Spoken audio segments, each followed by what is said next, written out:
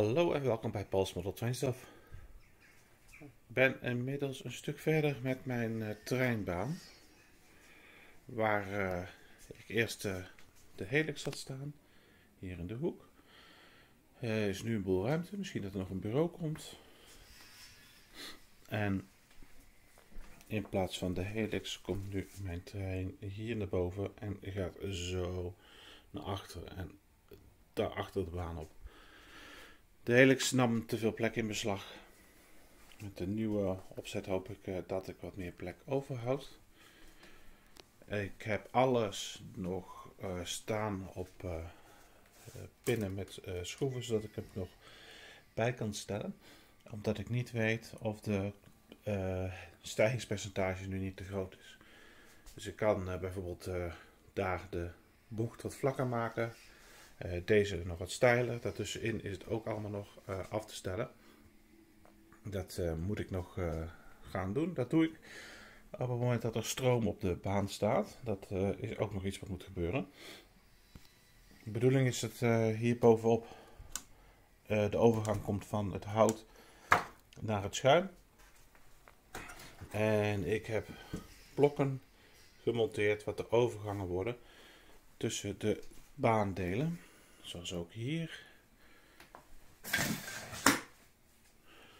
En ook hier.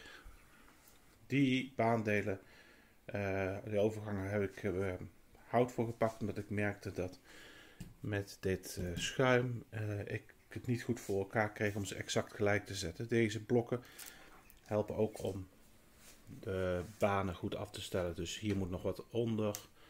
Ehm, ja, dat uh, is nu een stukje makkelijker aangezien het zulke duidelijke overgangen zijn.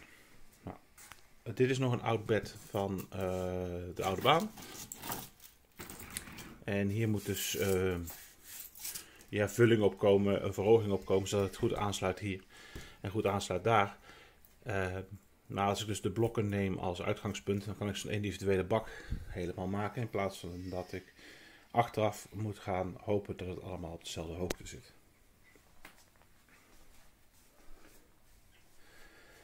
Uh, je hebt nog een boel dingen over voor het afstellen. Dat uh, komt nog wel. Uh, veel van de oude opbouw is er dus af, want de eerste twee bakken was een, een ophoging, of eigenlijk de eerste drie bakken was dus dat het langzaam omhoog ging. En uh, dat moet nu allemaal vlak worden. En dit is de enige opbouw die, niet, uh, die geen verhoging had. Hier heb ik ook een heel stuk afgehaald. Uh, de bedoeling is dat eh, deze bocht zoals hier ligt, die blijft. Maar ehm, dat ik een stuk rails ga pakken. Deze wil ik door middel zagen. En hier een stukje aan. Een stuk recht rails ertussen. En daarna een bocht zodat die uh, bocht veel geleidelijker is. Misschien doe ik het helemaal wel met uh, flex uh, rails, maar door een geleidelijkere bocht te hebben, hoop ik in dit stuk minder ontsporingen te hebben. Hier heb ik het ook zo, oh, even goed. Hier heb ik het ook opgeruimd. Vanwege dat deze, dit blok was één geheel, dus dat kreeg ik niet los van elkaar eraf. Dat los ik nog wel op. Een keer. Um, voorheen, en dan moet ik even hier naar beneden, gebruikte ik alleen maar twee verticale latten, zeg ik het goed, horizontaal. Nou, twee latten waar uh, de baandelen op lagen en steunde de baan verder op, uh, op het hout hier. Uh, dat was gewoon zwevend. Uh, nu ehm, heb ik een hele bekisting gemaakt die, waar de baandelen in passen. Zo, uh, het zit allemaal nog los. Uh, die bekisting zelf komt uh, op de onderbaan te zitten. Ehm, maar zorgt voor veel meer stabiliteit van de bovendelen. Ik had namelijk bijvoorbeeld hier dat ik geen één geheel heb gebruikt, om wat voor reden ook. En daar kreeg ik dus dat de baan aan het doorzakken was. Dat ehm, is natuurlijk niet zo handig. Um, en deze bekisting zorgt er ook voor dat ik uh, deze aansluiting veel nauwkeuriger kan maken. Eh, dat heb ik ook gedaan voor de achterste. Eh, die is wat moeilijker en nog wat moeilijker te zien dan deze. Die zijn allemaal redelijk makkelijk. Dit deel moet dus nog vastgezet worden.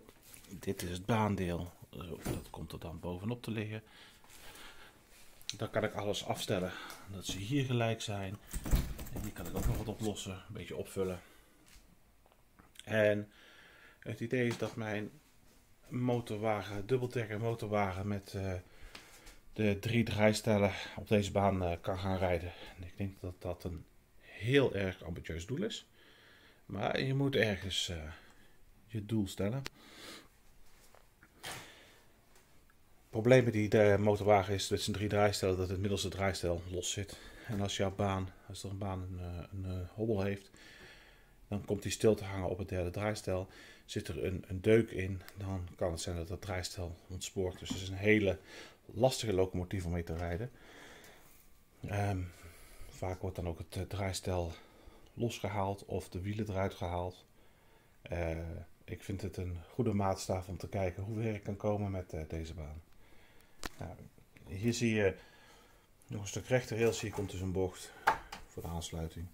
Ik heb nog wat andere bochten, dus dit Komt allemaal goed. Moet ik nog heel wat voor op maat snijden. Maar van deze platen heb ik er nog een paar, dus dat is niet zo'n ramp. De bedoeling is dat de baan enigszins verplaatsbaar wordt, maar er ligt nog te veel troep onder. Dus dat uh, lukt nu nog niet. Uh, en ik wil er nog steeds onderdoor kunnen of kunnen verschuiven, uh, zodat ik ook de achterkant bij kan stellen of enige elektrische problemen daarop kan lossen. Maar dat komt nog. Ik zou willen zeggen, bedankt voor het kijken. Hopelijk snel meer. Hopelijk ben ik snel uh, een, net verder klaar. En uh, hoop ik weer met enige regelmaat uh, wat filmpjes te kunnen tonen. In ieder geval van dingen die rijden. Bedankt voor het kijken en tot een volgende keer.